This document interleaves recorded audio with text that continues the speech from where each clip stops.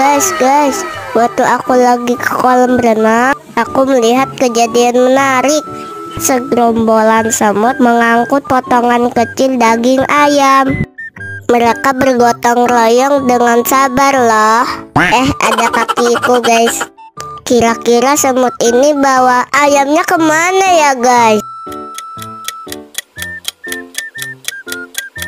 Ternyata dibawa ke situ guys. Wah, pasti pesta. Selamat berpesta semut.